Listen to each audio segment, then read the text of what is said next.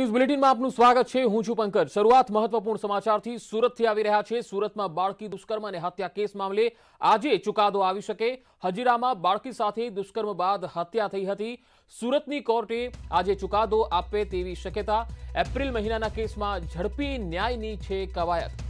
POCSO કેસની ખાસ કોર્ટમાં કેસની સુનાવણી થઈ છે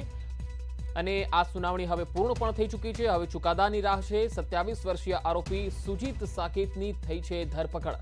આરોપી સુજીત સાકેત મૂળ મધ્યપ્રદેશનો રહેવાસી છે ત્રીસ એપ્રિલ બે હજાર એકવીસના રોજ હજીરામાં આ બનાવ બન્યો હતો પાંચ વર્ષની બાળકી સાથે દુષ્કર્મ બાદ હત્યા કરવામાં આવી હતી ચોકલેટ ખવડાવવાની લાલચે બાળકીને ઉઠાવી ગયો હતો અત્યાર સુધીમાં છવ્વીસ સાક્ષીઓની કોર્ટે તપાસ કરી હતી કોર્ટમાં ત્રેપન દસ્તાવેજી પુરાવા પણ રજૂ કરવામાં આવ્યા વધુ માહિતી સાથે સંવાદદાતા કીર્તેશ પટેલ સુરતથી જોડાશે. કીર્તેશ, આજે હજીરામાં બાળકી સાથે દુષ્કર્મ બાદ હત્યા થવાના કેસમાં કોર્ટ ચુકાદો આપી શકે છે. વધુ અપડેટ શું છે? બિલકુલ પંકજ, સુરતના હજીરા વિસ્તારમાં ત્રીસ એપ્રિલ બે હજાર એકવીસના રોજ એક પાંચ વર્ષની બાળકીને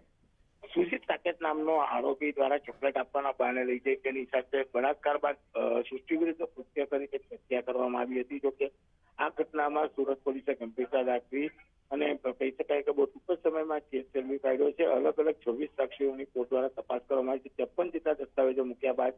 આરોપી સત્તાવીસ વર્ષનો મૂળ મધ્યપ્રદેશના રહેવાસી છે. તેને સુરતની કોર્ટ આજે સંભવિત ફાંસીની સજા આપે તેવી શક્યતાઓ હાલ વર્તાઈ રહી છે. જી, આભાર કીર્તેશ માહિતી આપવા માટે.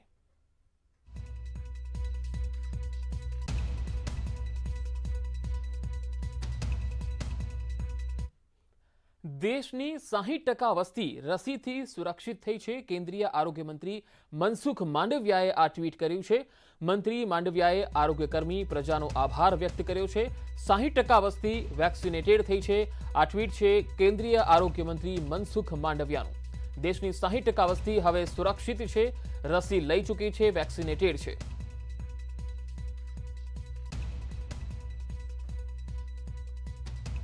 ઓમિક્રોનના વધતા કહેર અંગે પ્રધાનમંત્રી નરેન્દ્ર મોદી આજે સમીક્ષા બેઠક કરશે પીએમ મોદી સાંજે સાડા છ કલાકે કોરોનાની સ્થિતિ અંગે બેઠક કરશે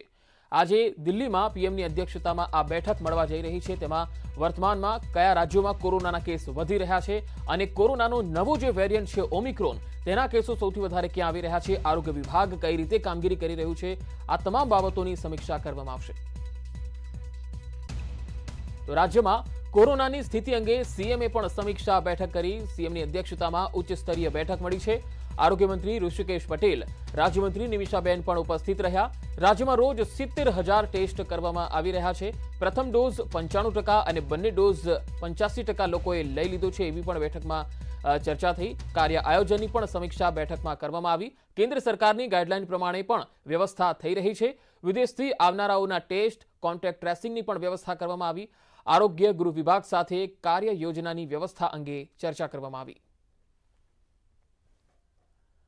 ગુજરાતમાં કોરોના સાથે ઓમિક્રોનના કેસ વધી રહ્યા છે ટેસ્ટિંગ